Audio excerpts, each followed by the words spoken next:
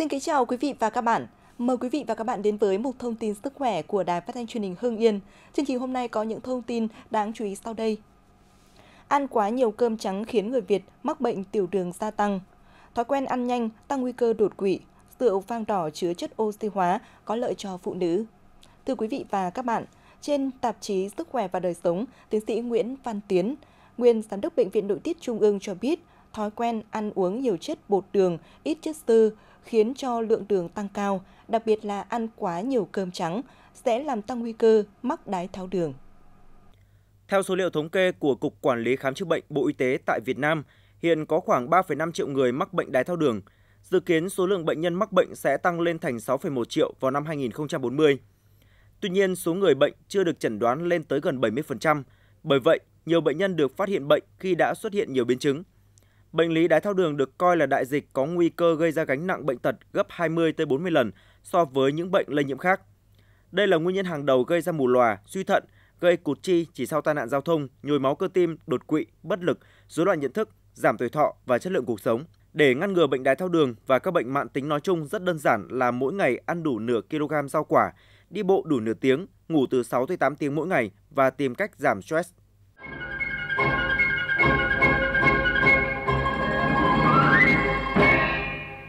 Thói quen ăn nhanh tăng nguy cơ đột quỵ.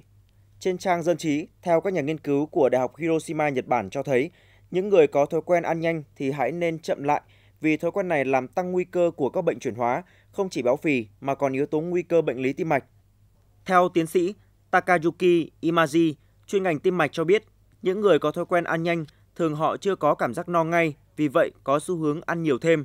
Chính điều này gây ra những rối loạn và gây đề kháng insulin. Để có sức khỏe tốt, điều quan trọng không những chế độ ăn uống lành mạnh mà còn cách ăn uống. Vì vậy, hãy nên có những thói quen tốt ngay từ bây giờ.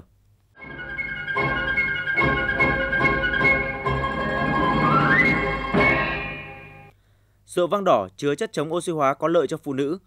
Theo tờ Sức khỏe mẹ và bé, các nhà khoa học thuộc trường đại học Washington, Mỹ vừa cho biết họ đã xác định được một chất chống oxy hóa có trong vang đỏ có thể khiến buồng trứng của phụ nữ hoạt động tốt hơn.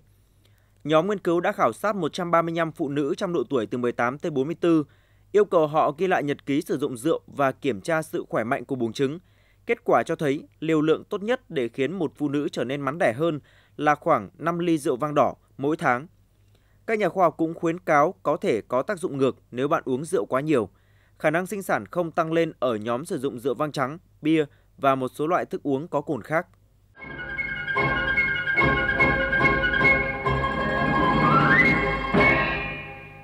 Căng thẳng khi làm mẹ ở tuổi teen ảnh hưởng tới tim.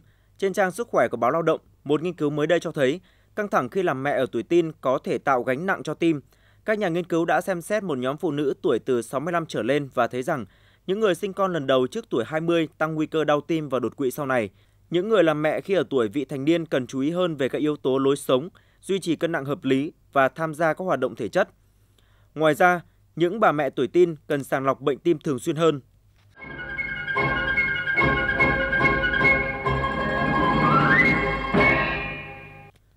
trầm cảm, lo lắng, mất ngủ, mất kiểm soát thần kinh do nghiện smartphone. Theo kết quả nghiên cứu của Trung tâm Nghiên cứu Con Người, 46% người Mỹ cho biết họ không thể ngừng thói quen sử dụng smartphone hàng ngày và tình trạng phụ thuộc vào smartphone ngày càng trở nên phổ biến. Các nhà nghiên cứu đã cho biết có một sự mất cân bằng trong não bộ của những thanh thiếu niên mắc chứng nghiện sử dụng smartphone và Internet. Kết quả nghiên cứu đã chỉ ra rằng những thanh thiếu niên càng nghiện smartphone và Internet thì mức độ trầm cảm, lo lắng, chứng mất ngủ và khó kiểm soát thần kinh ngày càng gia tăng. Bên cạnh đó, nghiên cứu cũng sử dụng quang phổ cộng hưởng từ MRS để xác định sự thay đổi về não bộ của các thanh thiếu niên nghiện sử dụng smartphone và Internet.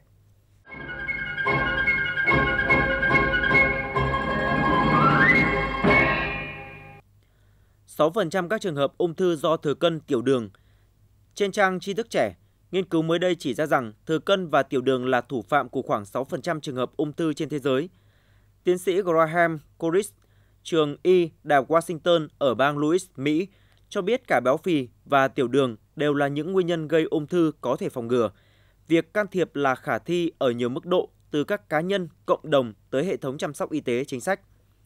Bệnh tiểu đường và béo phì gây ra những thay đổi về mặt sinh học như hàm lượng đường cao, tình trạng viêm mạng tính và rối loạn hormone giới tính, thừa cân, béo và béo phì dẫn tới khoảng 4% các trường hợp ung thư và 2% các trường hợp tiểu đường. Quý vị và các bạn thân mến, tới đây chúng tôi xin kết thúc mục thông tin sức khỏe của Đài Phát thanh Truyền hình Hưng Yên. Cảm ơn quý vị và các bạn đã dành thời gian theo dõi. Xin thân ái chào tạm biệt.